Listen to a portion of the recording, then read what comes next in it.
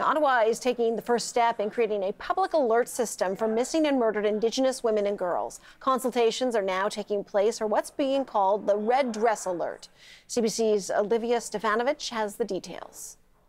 Such a long wait. Stephanie English says she wished there would have been a public wide alert when her 25 year old daughter Joey went missing. I really struggled with that. How I found out with my daughter, one of my daughters, is uh, the knock on the door after 19 days later.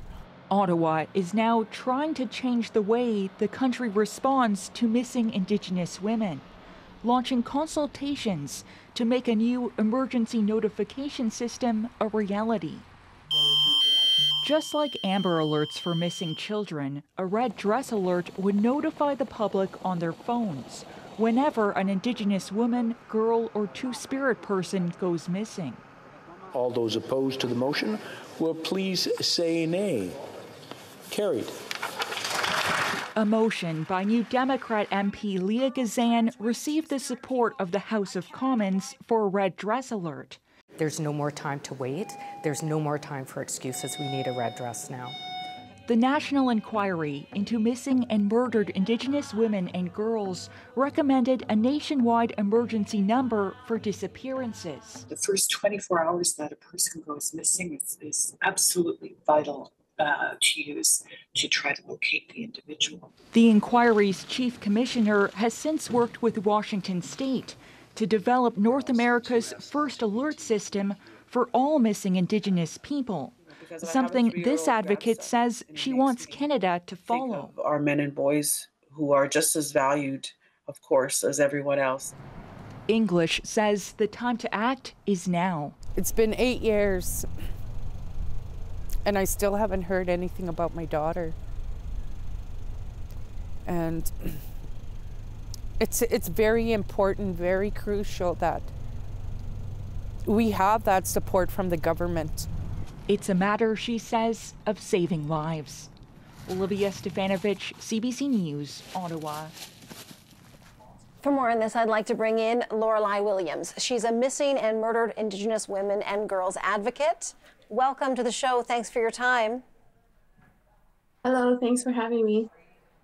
Lorelei, uh, walk me through just how important a public alert system like this is. A public alert system is very important because our Indigenous women and girls are going missing and being murdered at a high rate in this country. So I think it's very important for our lives, like to just to live in this country. And, and you come to this with a personal take on this, a very personal story.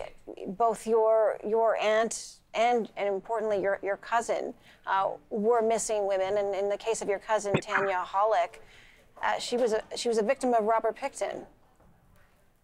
Yes, yes, my my grandma as well, and my partner's aunt was murdered in 1991 as well.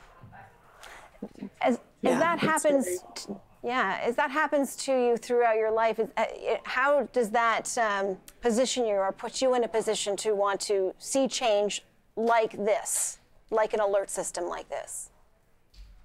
I want to see so many changes within our country, within this racist country, because our Indigenous women and girls' lives are at stake. We are trying to survive in this country to this day. Like, I'm constantly working on cases every single day around this issue. A system like this, what barriers might it help overcome? The alert system, mm-hmm. I feel like when families come to me, they come to me with no support. Um, they're they're at a point where they just feel like nobody's helping them. So I feel like uh, an alert system, which is carefully planned, um, will help, but also let predators know that it's not easy to target us. That's one of the reasons why they target us, because they know that nobody is going to do anything about it. I mean, our community comes together and we're the ones who are searching and looking for family members. Um, but we need anything and everything that we can get to put a message out there that it's not easy to target us. Because right now, they know it's easy to target us. The National Inquiry into Missing and Murdered Indigenous Women and Girls uh, in 2019, their final report called on governments to establish a nationwide emergency number. So it's now four and a half years later. How does it feel knowing that it, it could become a reality? It's a little shocking because I'm used to not getting the things that we need to survive in this country. It usually takes a lot of a lot of work, a lot of pushing, a lot of everything just to get one thing to happen. Um, you know, we've been pushing for all of these recommendations to go through, and it's four and a half years later for this one thing that is not set in stone. Work is just starting on this, but is there anything else that you would like to see added to this initiative?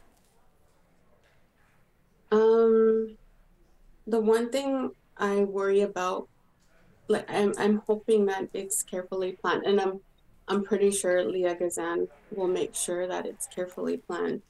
My one concern about this is the fact that predators, when a picture of a missing woman or girl goes out, predators are searching for those pictures too. So I feel like you know, once it gets into their hands, that's the scary part. So it would, it would have to be planned in a certain way where we would have to make sure that it doesn't fall into their hands because those predators, pedophiles, or whatever we want to call them, they have their own groups. They have their own secret groups. And when they see those photos of the missing woman or girl, they're out searching for them as well. So that's the other that's one concern I have. But other than that, I feel like it is an, an important initiative. Thank you. Lorelei Williams is a missing and murdered Indigenous woman and girls advocate. Appreciate speaking with you tonight.